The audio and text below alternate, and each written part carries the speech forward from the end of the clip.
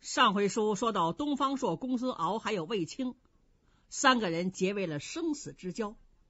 就在这个时候，杨得意手捧皇上赐给的金牌，带着自己训练的一群狗就来了。东方朔就跟卫青说：“魏贤弟，你赶紧让两位妹妹收拾好了，咱们傍晚之前务必赶回长安。”这个小男孩把眼睛睁大了，就问：“那么还有我呢？我怎么办呢？”东方朔非常喜欢这孩子，就把这男孩子抱起来了。我问你，你叫什么名字呀？霍去病。霍去病，哈，这名字好怪呀。卫青在旁边说话了：“大哥，他爹姓霍，这孩子刚生下不久就生病死了，我们怕孩子长得不结实，就给他取了这个名字。”这个男孩子接着就说：“霍去病，我叫霍去病，就是我们霍家呀，去掉疾病。”好，东方朔左手抱着霍去病，右手拍了拍他的脸蛋。好，霍家去掉疾病，咱们呢也让汉家去掉疾病。卫青面对此景，心中一动，大哥。这孩子一看见您就管您叫爹，看起来你们爷俩可有缘分呐。您想不想认他为义子干儿啊？那太好了，我求之不得的。霍去病，你可就是我第三个儿子了。去病，叫声干爹。东方干爹，好，我答应。哎，这孩子你可真机灵，走，跟着干爹上长安。就这样，杨得意手捧皇上赐的金牌，在前边开道。东方朔抱着霍去病，还有卫青，还有公孙敖骑着马，两辆车。前边这辆车上坐的是魏少儿，后边这辆车坐的是卫子夫，再后边就是杨得道训练的这群狗了。这些人就直奔长安。在长安城里，汉武帝刘彻早就急坏了，因为他把金牌给了杨得意之后，杨得意走了，他就上了早朝了，急急忙忙下了早朝，躺在了卧榻之上。他着急呀，等着杨得意把卫子夫带回来，他就顺手抄起了一块竹简，可是拿起这块竹简，一个字儿也看不下去。闭上眼睛，眼前马上就出现了梦中的卫子夫。武帝心说：“这样的女人肯定会让我随心所欲。我是个男人，我是大汉天子，我为什么就得不到他呢？难道说后宫增添一位佳丽，这就违背了祖制？”哼，我就是要卫子夫，我看谁有什么理由能够反对我？哼，说不定这件事就是我刘彻反击的起点。得意，得意！秉笔太监索中赶紧进来了。皇上，杨得意，他不是拿着您的金牌救人去了吗？还没回来呢。汉武帝生着气站起来了，他没回来，谁让你多嘴呀？啊，皇上，老奴该死，该死啊！你就去死吧。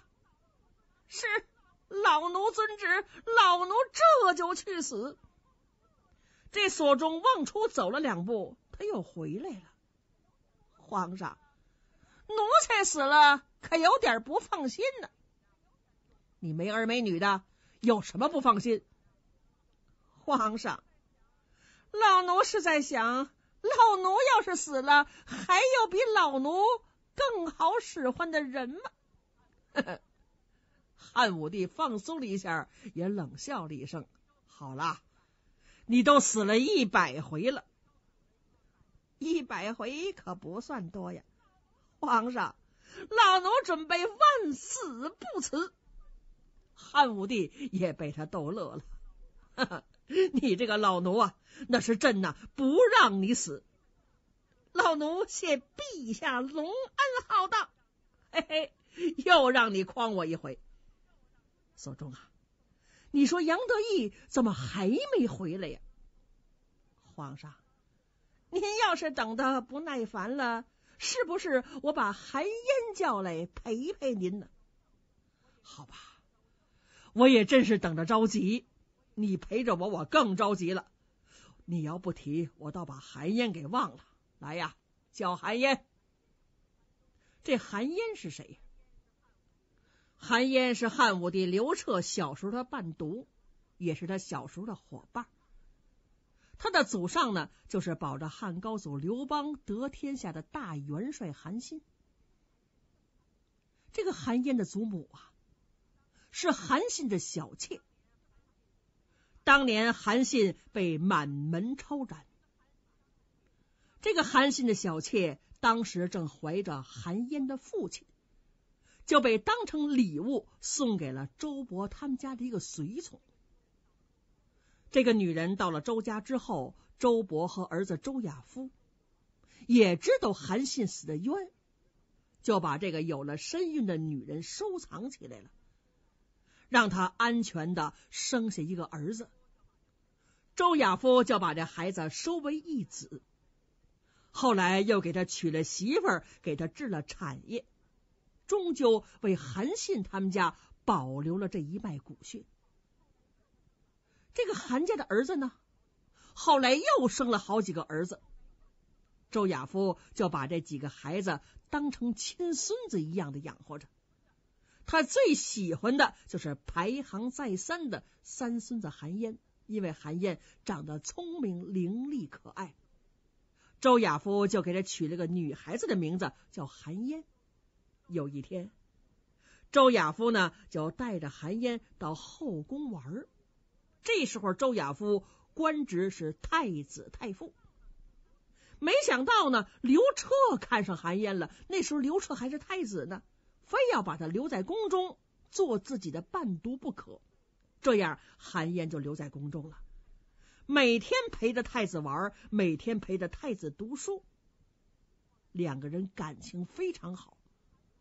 后来太子成婚了，韩嫣呢也成了大小伙子了，也不能随随便便的留在宫中，这样跟汉武帝刘彻只好忍痛分手。可是韩嫣回到家中就生了病了，病得弱不禁风，好像有点像女人。他每天就是想汉武帝刘彻，为了见汉武帝，他自己私自主张就把自己净了身了。这一下可把周亚夫气坏了，差点气死啊！你这孩子怎么能这么做呀？啊，好，你就是净了身，我也不许你进宫。韩嫣见不着汉武帝刘彻。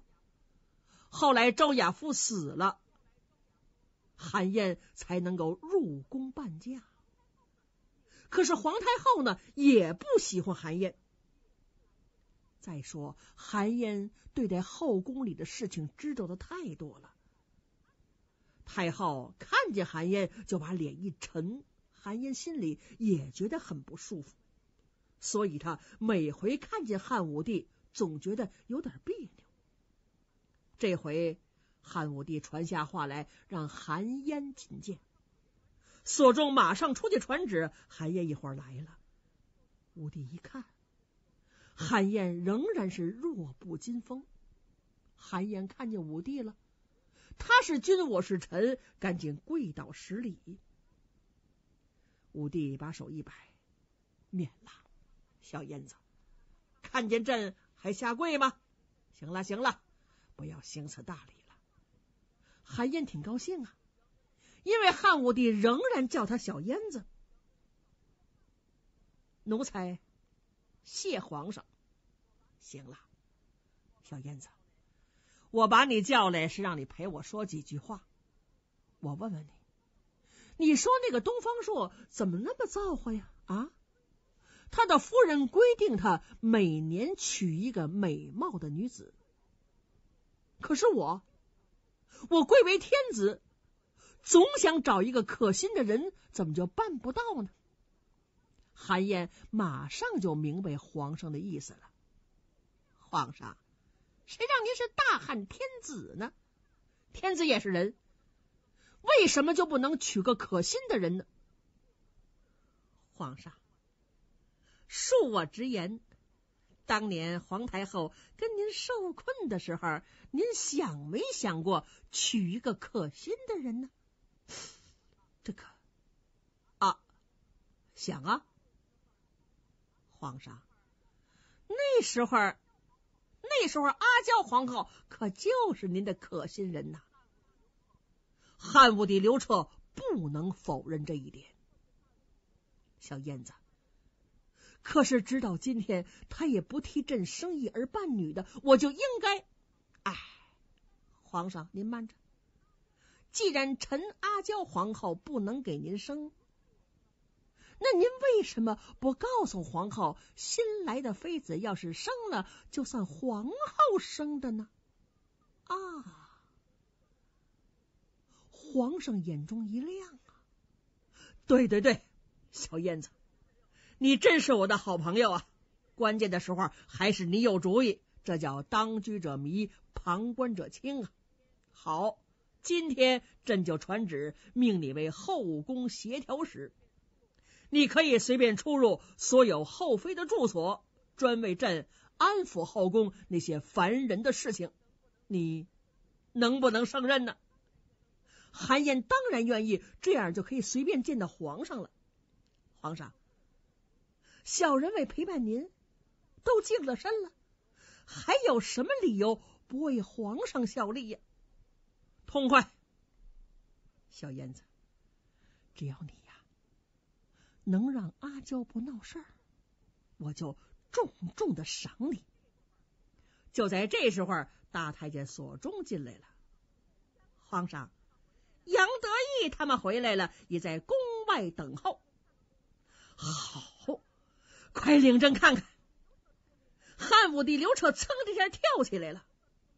索中，他们来了没有？皇上，请您自己去看吧。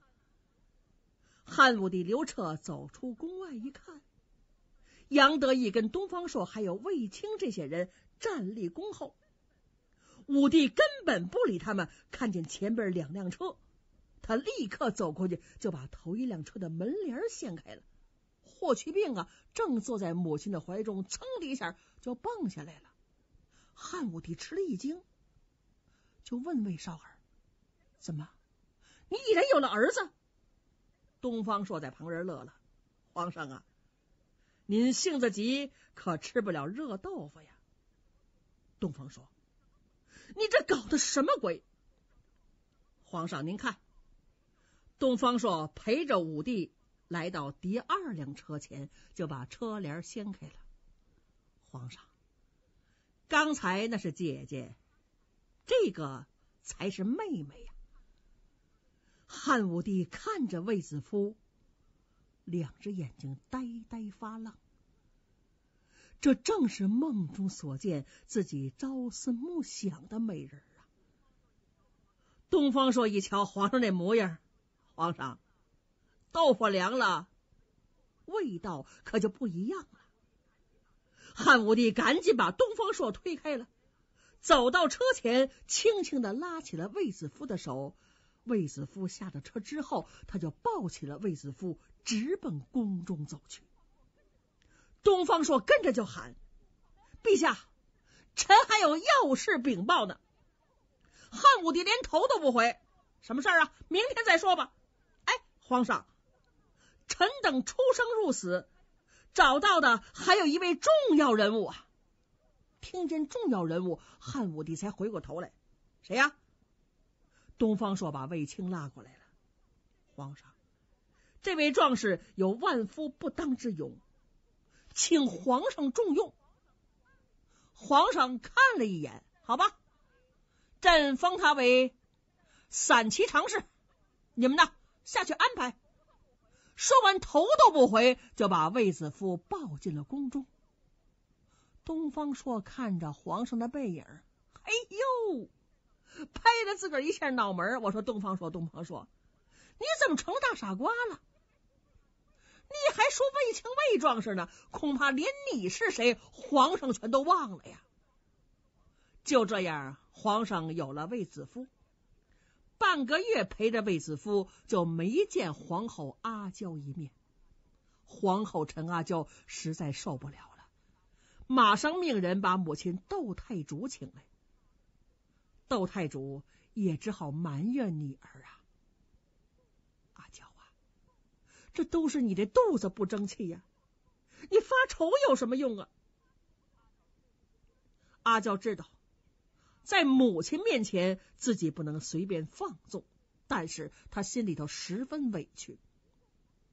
母亲，您说皇上跟这贱人在一块都半个月了，理都不理我，我这个皇后没有脸面，我这脸往哪儿搁呀？什么叫脸面啊？这大汉江山才是脸面，大汉江山是我们刘家的。天下谁不知道？没有我长公主帮忙，他们母子一个做皇上，一个做皇太后吗？要是没有我长公主，恐怕他们母子也不会活在人世之上吧。母亲，您现在可不能这么说了。现在他翅膀硬了，自以为能上天了。他可忘了，忘了当初咱们娘俩是怎么帮助他们的了。哼，太皇太后还在，谅他也不敢过分。母亲，我们对付那贱人没办法。我听说那个卫子夫还有一个相依为命的哥哥，叫什么？叫卫青，好像在宫外头当差。要是卫青能够出了事儿，是啊，我知道。要是卫青出了事儿，这个卫子夫他就没有笑脸陪着皇上了，是不是啊？母亲，可是您要惩治卫青，您可得留点神呐。上回您派那几个家将，没有什么本事，哼，这回我就派几个能人，我就不信治不了他们。好啊，他们对不起我，我就对不起他们。就在这个时候，走进一个宫女儿来。皇后，后宫协调使韩嫣求见。协调使把阿娇气坏了。母亲，您听见没有？也不跟我商量商量啊，还封了个后宫协调使，这样。后宫就由他们来指挥调动了，不见。窦太主赶紧站起来了，不，宣他进来。宫女出去，时间不大，韩燕走进来，扑通一声跪倒在地。小人叩见皇后娘娘，叩见太主殿下。小燕子，你是一个大男人。哼你这本事可不小啊！竟然做官做到后宫来了。我问你，你是不是替皇上来说三道四的？小人不敢，小人是为娘娘而来。什么？为我而来？你能为我做什么呀？小人。是给娘娘道喜来了，也为太主殿下道喜，还喜呢？再喜呀，我的女儿就被喜出宫去了。太主，小人可不这么看呢。那你说说，我们母女喜从何来？太主，如今可有人愿意为娘娘生孩子？以承继汉室大统，怎么能说不是喜事呢？阿娇听糊涂了。谁替我生儿子？谁会这么做呀？皇后，你也知道，小人自幼在宫中与皇上为伴，深知皇上的心事。皇上另纳新人，主要是为了早生太子。如果有人生下太子，呃，然后呃呃，所以小人才来给皇后娘娘道喜。窦太主眼睛一亮，走上前一步，就把韩嫣拉起来了。小燕子，你起来，坐下，有什么话坐下再说。这韩嫣呢，也不推辞，就坐到宫女儿送的锦墩之上。皇后，要是将来生了儿子，由您来抚养，说不定还会给您招了一个亲生之子啊。啊！阿娇一想，对呀，常听母亲说，没有儿子，身边带个儿子，能让自己也能生个儿子，这是女人们常用的一招啊。想当年景帝生病，就让我跟太子先成婚，成婚以冲喜，景帝的病还真好了。也许小燕子说的对。这时候，皇后阿娇的脸上多云稍微转晴了。母亲，女儿要是有了儿子，不也是您的喜事吗？韩嫣在旁边又说话了：“不，太主也有您的喜事，还有我的喜事。快说，我能有什么喜事？”太主。小人跟一个卖珠宝的后生叫董衍的，可是十分要好，我们俩是好朋友啊。窦太主立刻明白了，因为窦太主的秘密，皇后阿娇并不知道。汉武帝刘彻这位姑母家岳母已然年过半百了。但是你要一看他，就好像那四十岁也就刚刚出头，那人长得非常漂亮，而且精心保养自己。只不过窦太主自叹命不好，是个女人。窦太主的丈夫陈武已然六十多岁了，而且身体不太好，所以窦太主通过韩嫣。就认识了一个年轻的男人，叫董衍。这个董衍长得高大英俊，能说会道。窦太主的一颗心就全都交给董衍了。每天看着这个年轻的小伙子，心里边高兴；一天看不到这窦太主就难受。所以说，听韩嫣一说，窦太主马上明白了，立刻就打断了小燕子的话：“好了，好了。”我知道这事儿了，就让他呀带着珠宝到我府上，好吧？小燕子，传下话去，我要起驾回府。阿娇不明白是怎么回事，母亲您，我呀，岁数大了，喜欢珠宝，回去买点珠宝。皇后啊，你说的事儿，你放心，我回去就办。韩嫣明白了。太主，奴才也随您一同回去。好啊，没有你，我上哪儿去找宝贝去？窦太主说完，带着韩嫣就走了。咱们暂时把窦太主跟董衍的事情放下不提。窦太主回到家中之后，马上叫来心腹人，让他们想办法暗害卫子夫的哥哥卫青。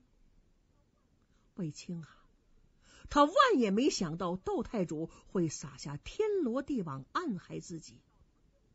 到底窦太主用什么办法害卫青？下回再说。